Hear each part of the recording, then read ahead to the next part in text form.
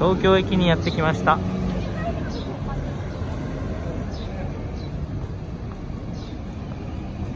これいつ頃できた建物ですかね。古い洋風建築の建物。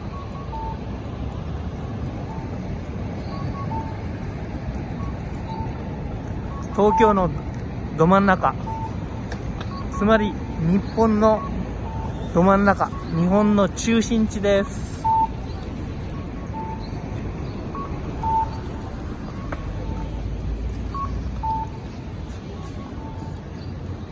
駅の前はバス停になってます。地下には大きな地下街があります。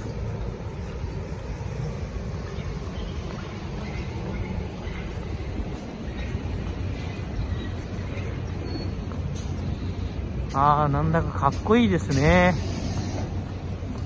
こんなオフィスビルのど真ん中に、こんな古い建物があるって、なんか素敵ですね。東京にはこんなレンガ造りの古い建物があちらこちらに残っています。もしも繊細で壊れなかったらもっとたくさんの古い建物が残っていたと思うんですけど今はポツポツと残っているぐらいです。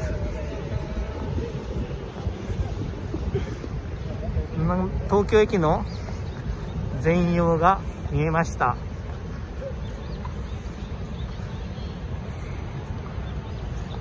これが東京駅の正面ですね。そして周りはオフィス街です。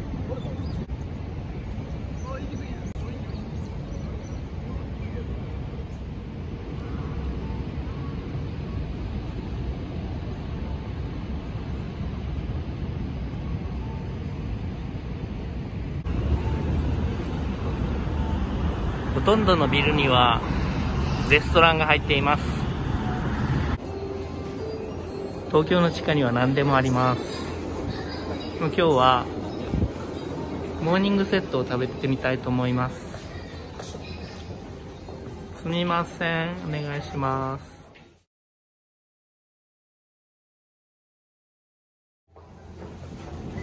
コンビニで今日のえっ、ー、と公園で食べるおにぎりを買っていきたいなと思います。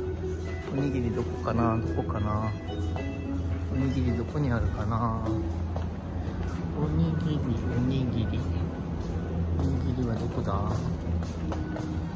おにぎりはどこだ？おにぎりはどこだ？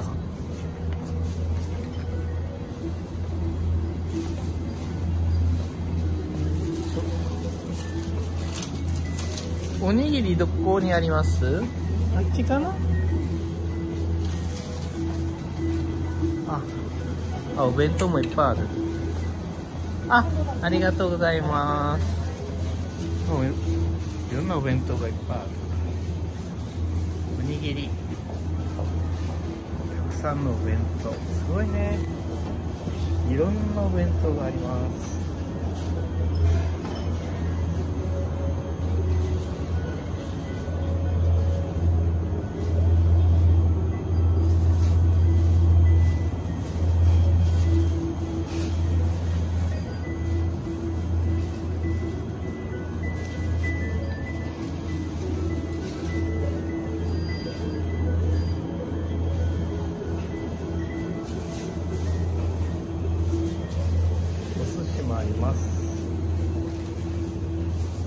では僕はおにぎりを買っていきたいと思います。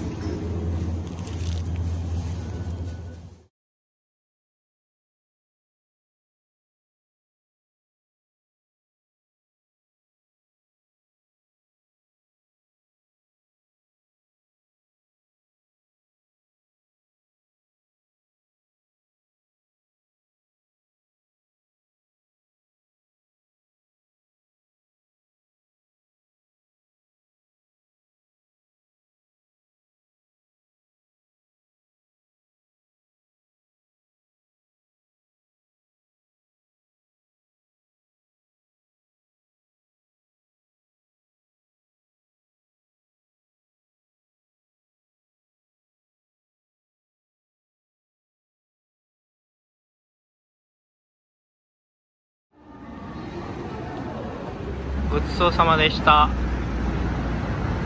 今から皇居に向かいます。東京駅の真正面が皇居です。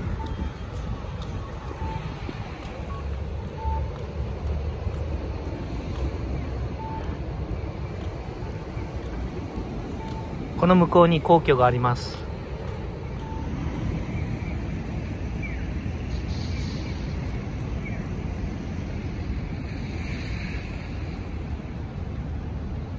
東京は昔江戸と言いました。江戸には巨大な江戸江戸城がありました。インペリアルハウスはその江戸城の真ん中にあります。昔の日本の橋はこんな感じだったんでしょうね。なんていう名前の橋かな。和田倉橋です。白鳥がいます。大きなお堀でシングルライフを楽しんでいます。大きな石が見事に積まれています。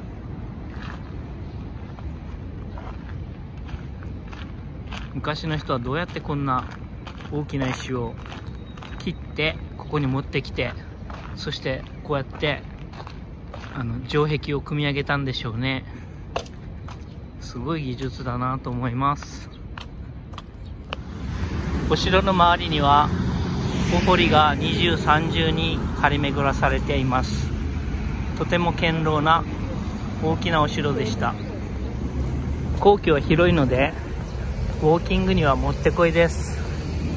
あまたシングルライフを楽しむ、えー、白鳥を発見しました。おーいどうして一人なの？君は。東京のど真ん中なのにとても緑が多いです。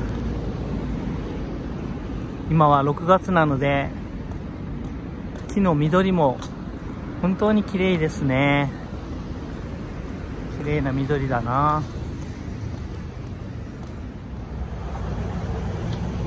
東御苑に行こうと思ってたんですが残念なことに今日はお休み門が閉まっています。残念だな。じゃあお城の周りをぐるっと回って、えー、九段下まで向かいたいと思います。本当に大きなお城です。周りをね歩くだけで本当にいい運動になります。まだまだ先があります。お堀の周りにはたくさんの桜が植えられていて4月にはとても綺麗です。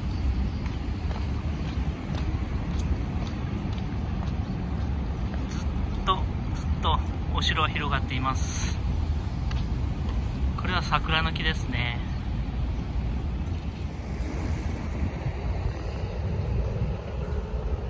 平川門にやってきました。このこの橋も日本の昔の橋ですね。木でできてますね。すごく丈夫な木。そして橋桁は石でできています。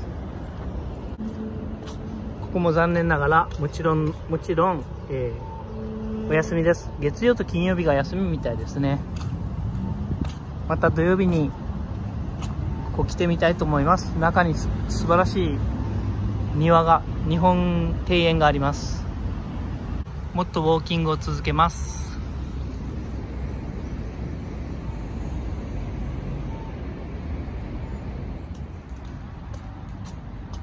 気温も低くとても気持ちのいい朝です。今日は日が照ってなくてよかった。これは欅ですかね。すごく緑が綺麗です。綺麗だな。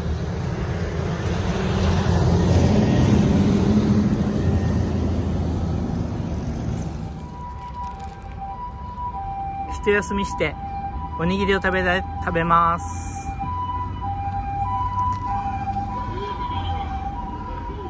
あ日本にはゴミ箱はありません。ゴミは全部持ち帰りです。で持ち帰って、えー、各自お家で、えー、分別して処分しています、えー、美味しいおにぎり。いただきます。城壁がだんだん高くなってきました。9月の花アジサイが咲いています。そしてもうお堀になかなか近づけないんですけれども城壁こんなに大きくなっています。すごく高いですね。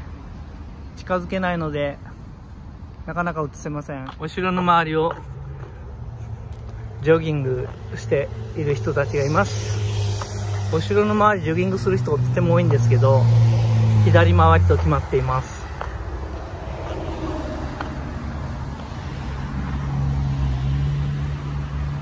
堀はこんな感じです。本当に巨大なお城です。上この木は桜です。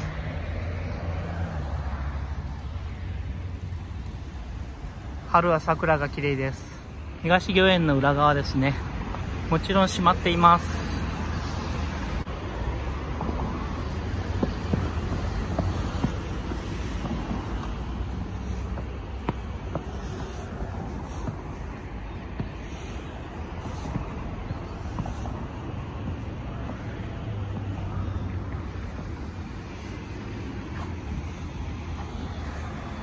本当に緑が多いですね。北の丸公園にやってきました。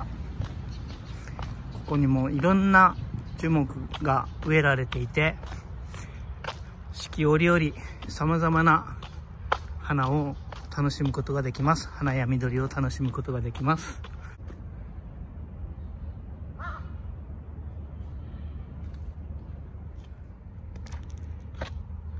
なんていう花かな？金芝居かな？可愛い花です。南天の花が咲いています。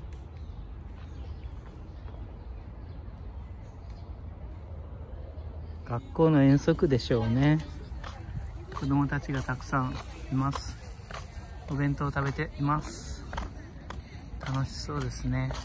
もぐら塚がいっぱいあります。公園の出口にやってきました。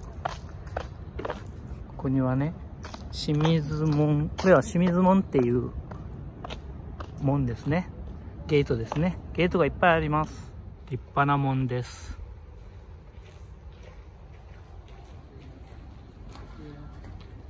石積みが素晴らしいと思います。大きな木で作られています。巨大な扉です。して外にはもう一つ小さな門があります。ここのお堀はハスで覆われていますね。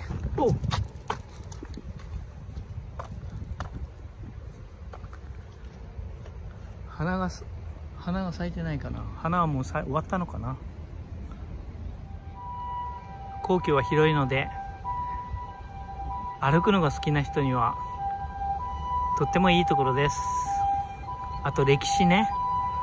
それに博物館とかも美術館もいっぱいあります。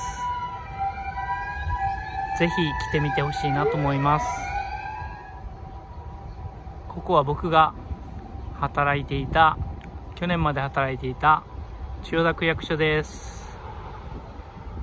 立派なビルですよね。